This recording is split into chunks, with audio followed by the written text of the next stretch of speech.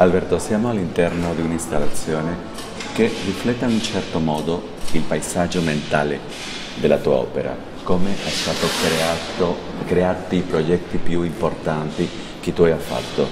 Mi piacerebbe sapere che cosa tu vuoi comunicare con la tua architettura. Non è facile riassumere ciò che voglio fare in un'intervista di questo tipo con poche parole. Potrei cominciare con una frase che ho ripetuto moltissime volte. Si tratta di un poeta spagnolo che tu conosci bene, Federico García Lorca, che credo sia conosciuto anche in Italia.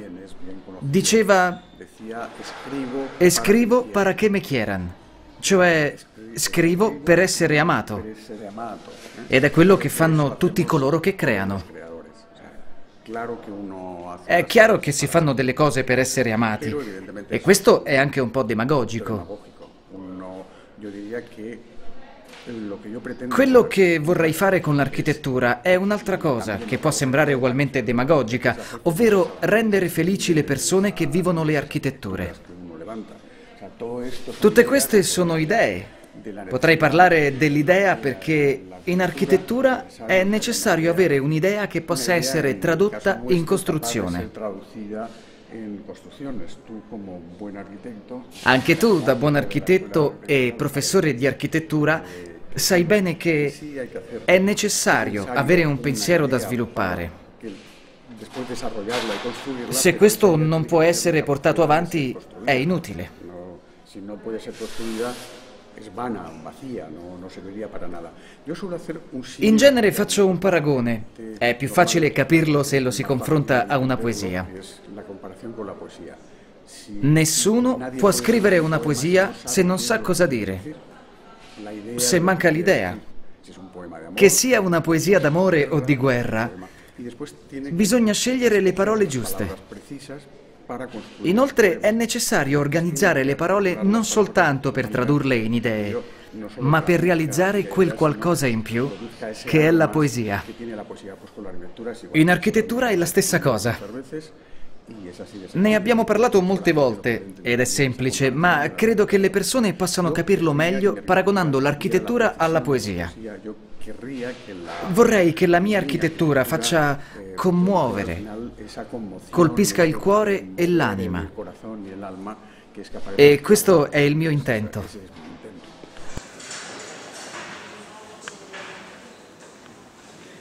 Alberto, tu costruisci in più la tua architettura con qualcosa che ha della pura magia, con l'elemento naturale per eccellenza che è la luce.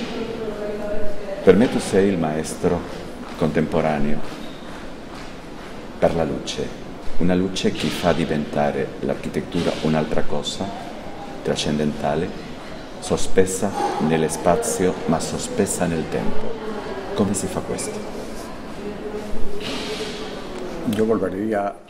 Io tornerei a ripetere quello che tante volte è stato scritto, ovvero che un architetto inizia a essere architetto quando capisce che la luce è il primo strumento con cui lavorare. Dico strumento perché la luce non deve essere data per scontata. È gratuita e a volte la gente non l'apprezza abbastanza o pensa che è qualcosa di misterioso. Aquel señor que se llamaba Newton Quel signore che si chiamava Newton creò le leggi della gravità, come quella del 9.8. y, y desarrolló y estableció Sviluppò le leggi della luce, creò delle leggi con la stessa precisione che si usa per lavorare la pietra e utilizzare la luce. Questo in architettura è importante, per non dire fondamentale. Siamo a Roma ed è evidente che a Roma ci sia un'architettura assoluta. Però ci sarebbero due monumenti che considero di grande interesse. Uno è il Pantheon. Il Pantheon è un esercizio di luce. Quando entra la luce si realizza un miracolo meraviglioso e semplice. A rendere possibile tutto ciò è la perfezione delle dimensioni e della scala. L'altro monumento che apprezzo particolarmente è il baldacchino di Bernini.